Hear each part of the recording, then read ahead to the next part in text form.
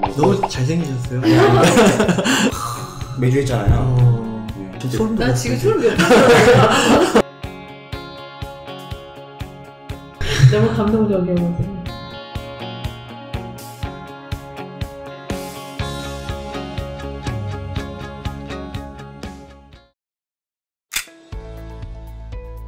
안녕하세요. 저는 네, 축구 선수 김상필입니다. 저희 현재 소속팀은 이제 목포시청 축구단이고요. 나이는 31살이고 포지션은 이제 중앙 수비수를 보고 있습니다. 네, 안녕하세요. 저는 축구 선수 김지수입니다. 이 김상필 선수와 같은 소속팀에서 지금 선수를 뛰고 있고 어, 포지션은 미드필더입니다.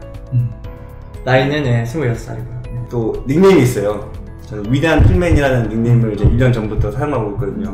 위대한 쇼맨이라는 그 영화가 있었는데 그 영화가 스토리가 되게 가난했던 사람이 있었는데 음. 이제 그때 서커스단을 만들어가지고 이제 미국에서 성공하는 음. 약간 미국에서 유를 창조한 음. 예, 그 스토리예요. 음. 닉네임 뭘로 정확하다가 아, 이 사람이다. 어. 예, 나도 미국에서 유를 창조하고 어. 싶다라는 의미로 이제 위대한 이제 제 김상필이니까 음. 필을 넣어서 아. 필맨에서 예, 그래서 위대한 필맨이라는 닉네임을 쓰고 음. 있습니다. 네. 여기도 이제 닉네임이 따로 있거든요.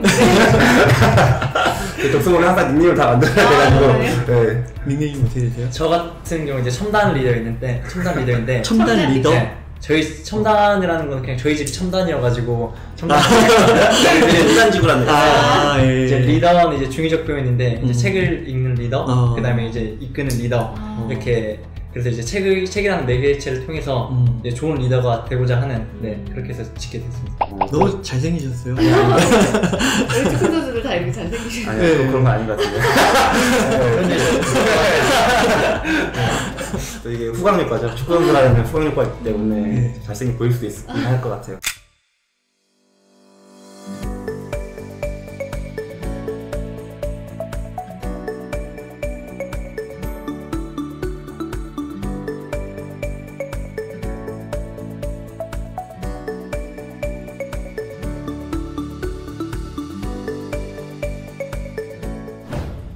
처음에 독서 모임을 시작하게 된 이야기를 아. 먼저 시작하세요. 음. 제가 이제 당시에 아, 산 무궁화 FC의 팀에 있었어요. 음. 근데 거기는 이제 군복무 팀인데 그 팀에 이제 모인 선수들이 항상 그 모두 거의 대부분이 각 팀의 1, 2번 주전 선수들이 모이거든요. 국가대표 출신도 있고 당시 선수가 38명이었는데 그 38명의 선수 중에 제가 38번째인 것 같은 거예요. 음. 아, 내가 이거 제대하고 나서 전 또 FA 선수였거든요. 팀이 없었어요. 음. 자유 자유계약 선수인데 어떻게 팀을 갈수 있을까 이런 고민이 있었어요. 음.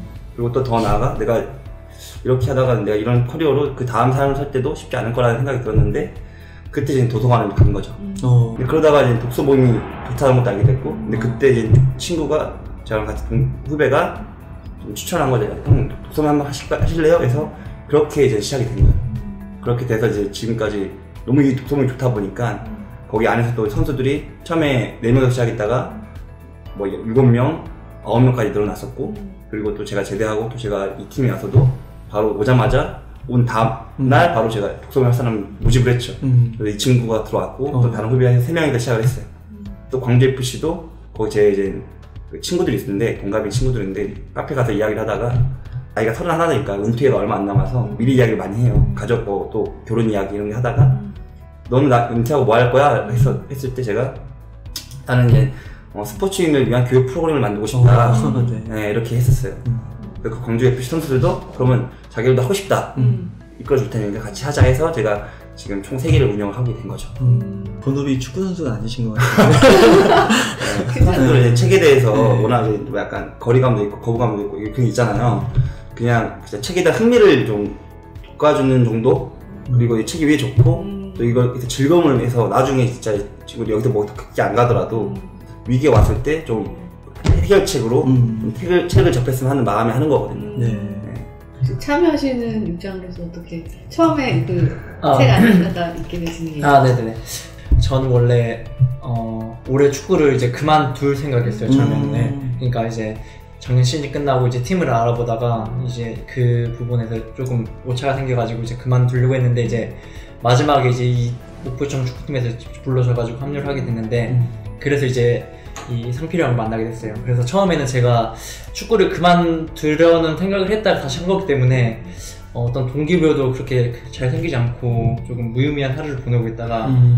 이제 독서 모임을 딱 시작하고 어, 책이 이- 책을 읽기 시작한 뒤부터 이제 조금 인생이 어. 바뀐 것 같은 느낌이 드는 거예요. 음. 이제 제가 처음에는 이제 부동산 쪽에 이제 관심이 있어가지고 그쪽에 음. 공부를 하다가 이제 형의 영향을 받아가지고 이제 어, 자기 개발하는 음. 쪽으로 이제 예, 하게 되고 이제 뭐 체인지 그라운드 영상도 보게 되고 그러면서 이제 조금씩 늘려가다가 어, 지금 이제 완전히 저도 이제 축구 산업 이제 축구 프로그램 만든다고 했잖아요. 그 프로그램 이제 저도 거기에 동참을 해가지고 음.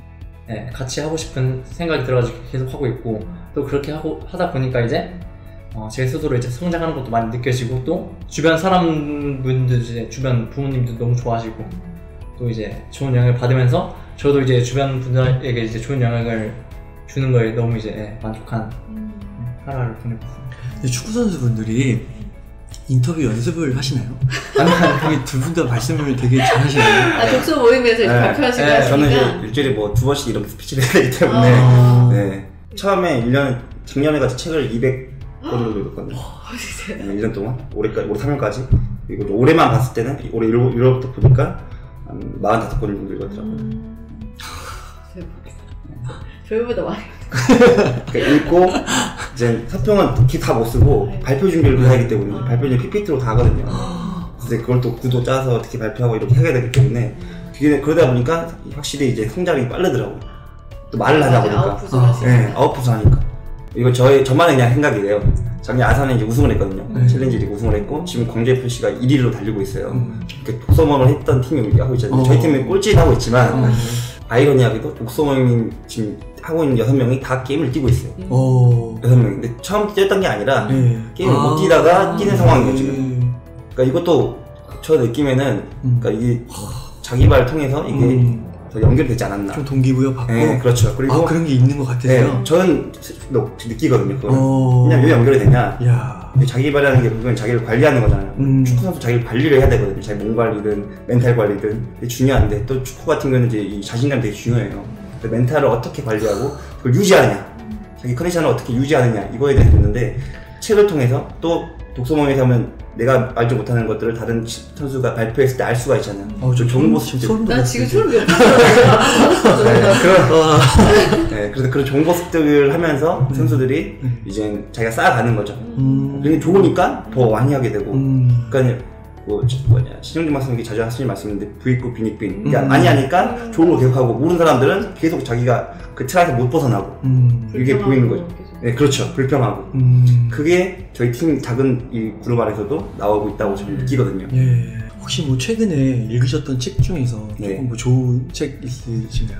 어, 축구는 왜 오리투성일까라는 책을 읽었어요. 어. 네, 이제 그게 축구의 통계를 가지고 이야기를 하는 건데 제가 이제 저희 팀이 계속 성적이 안 나오니까 음. 왜안 나올까라는 고민을 들어갔고 그 고민 해결을 하다 하려고 이제 그 책을 읽었는데 통계가 나오는 거예요. 그래서 우리 팀의 수준이 뭔가 결국에는 그 책도 이 통계를 통해서 메타인지를 한 다음에 메타인지를 한 다음에 다른 팀과의 상대성을 가지고 이제 전략 전술을 구사해야 된다. 와. 그래서 뭐 팀에 대해 다른 그 조, 사례에 대해서 알려줘요. 예를 들어 맨체스터 시티라는 이제 강팀이 있어요. 음. 프리미어 리그에. 음. 그 만약에 위건이라는 팀이 있어요. 위건이라는 음. 팀이 있는데 거기는 하부 리그예요. 하위 팀이에요. 음. 이 위건이 맨체스터 시티를 이기려면 음. 어, 맨체스터 시티가 하는 축구를 하는 게 아니라 음. 위건만의 축구를 해야 된다. 어. 그러니까 뭐냐 다윗과 골리앗 싸우잖아요. 어. 이건 다윗과 골리앗 싸우는데 처음에 다윗한테 투구랑 다 씌웠잖아요. 예. 골리앗처럼. 예. 근데 싸웠을 때 만약에 뭐 다윗이 싸우, 싸우면은 음. 지잖아요 무조건 음. 똑같이 하면 그래서 다윗은 다 벗고 돌팔매를 던지잖아요. 음. 그러니까 그런 식으로 접근을 해서 전략을 세워야 된다고 이제 하더라고요. 그래서 이제 그걸 축구에 어떻게 접목시키냐 또 그거에 대한 사례가 있어가지고 되게 좀, 어, 저희 팀에 대한 또 평가도 하게 되면서 우리가 우리 팀이 앞으로 어떤 방향으로 가야 될지에 대해서도 저 나름 예, 좀 글도 써보고 했었죠. 제가 뭐 축구에 대해서 아주 전문성 있는 건 아니고 네. 그냥 보는 거는 너무 네, 좋아하는데 네. 지금 말씀 들어보니까 교육 프로그램을 만드실 게 아니라 감독을 하셔야 될 것 같은데요. 저는 이제 감독보다는 컨설턴트가 되고 싶어요. 스포츠팀 음. 컨설턴트. 어. 어, 더 크게 봐서 어. 어제 구단을 어떻게 운영하고 아. 팀을 어- 어떻게 운영하고 이런 것들을 좀 하는 총괄하는 그런 식으로 접근을 하고 싶고 음. 한국에서 독일로 유학을 갔어요. 그래서 이제 거기 지- 거기 독일 지도자가 예, 물어봐요. 너 축구가 어떻게 어떻게 되냐? 너에게 어떤 의미냐?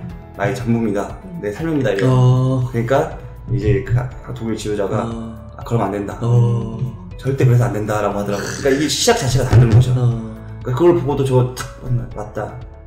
그래서 내가 한- 이 한국 축구에 교육 프로를 만들어야겠구나 어. 이런 생각도 들면서 음. 예. 그 은퇴 후에 대한 또 되게 안 좋은 길로 가 빠지는 선수를 많이 봤어요. 음. 저 같은 경우에도. 그래서 그들이 좀 학습 능력을 좀 키워놓으면 그건 독서 모임이 읽고 쓰고 말하기 듣기를 다 하기 때문에 그래서 신용 박사님 뭐 말을 빌려보자면 이 네 개가 어떻게 이 사회생활의 기본기라고 하시더라고요. 축구에도 기본기가 중요하지만 또 사회생활에도 기본기가 중요한데 이것들을 좀 익혀놓으면 그나마 다른 사람보다 더 빨리 갈 수 있지 않을까. 음. 왜냐면 들어보니까 뭐 대한민국에서 성인 40%가 책 한국 1년에 한국도 읽지 않고 있고 그러면 그 40% 60%는 들어가면 그래서 나 확률 높이지 않을까라는 의미로 좀 이렇게 하고 있는 거죠. 예. 책을 읽었으면 또 실제로 옮기는 게 중요하잖아요. 스포츠 산업도 어떻게 보면 이제 팬이 되게 중요한데 음. 팬에 먼저 초점을 맞춰서 저희가 우리 목표시청 선수 마케팅 팀을 만들자. 우리가 할 수 있는 그 범위 안에까지만 해서 도전해보자 해서 지금 움직일 생각이 있거든요. 제 나름 그냥 이것도 해보고 저것도 해보고 해서 실패하면 뭐 경험이고 잘 되면 좋은 사례를 남겨서 다른 사람이 다른 팀이 본받아서 하면 좋고. 음. 예. 제가 그 책을 읽은 이유도 무엇이 성과를 음. 이끄는가를 읽, 읽는 이유도 이제 도, 독서 모임 하는 이제 선수들끼리라도 이제 팀에 좋은 영향을 좀 끼치고 싶어가지고 네. 그 책을 읽으면서 이제 아까 말씀하신 것처럼 즐거움, 의미. 성장 음. 그걸 이제 팀원들에게 어떻게 심어줄 수 있을까 어. 고민을 하고 이제 네. 어린 선수들 같은 경우에는 되게 힘들어하거든요. 음. 그런 아. 선수들을 이제 불러가지고 개인별적으로 이런 것도 한번 심어주려고 해보고 네, 여러 가지 시도를 지금 하고 있는 중. 음. 아, 저는 이제 이것도 빡도익스를 저 어떻게까지 생각을 하냐면 약간 지금 독서라는 자체가 책이라는 자체가 사람들한테 긍정적인 이미지를 심잖아요. 근데 축구 선수랑 뭔가 하- 하게 되면 네. 다른 분야 같은데 하다 보니까 시너지가 난다고 생각을 해요. 네. 그래서 이거는 대한체육회든 대한축구협회든 분명히 관심을 가지게 될 음. 이거라고 생각하거든요. 네네네. 네, 저는 그렇게 생각해서 네, 더 크게 생각하는데 네. 딱 해놓으면 여기에 대해서 고민할 수 있지 않을까 음. 그렇게도 생각을 하거든요. 예. 저희 독서모임 이 구성원들끼리 하는 이제 시그니처 포즈가 있습니다. 이렇게 포즈를 하는데 이 포즈는 이제 책을 읽는다는 의미로 아. 저희가 하는 거거든요. 네. 그래서 이제 마지막에 이 제스처로 끝내, 끝내기 전에 이제 저희 어, 빡 12월에 빡도에서 축구 선수가 있습니다. 그날을 좀 많이 기대해 주시기 바라겠습니다. 여러분, 같아요.